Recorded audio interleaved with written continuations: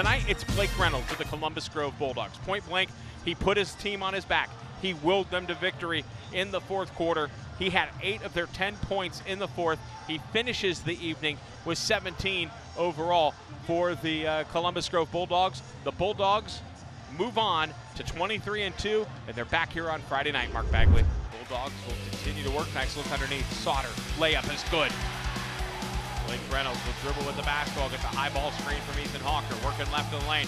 Reynolds to the 10, no. Goes back up strong, count that and a foul. That is perseverance right there.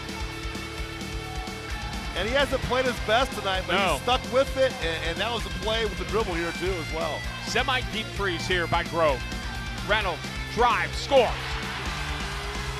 Well, trying to get it in, He barely foul. do. Here's Yeater, three on the way, no good.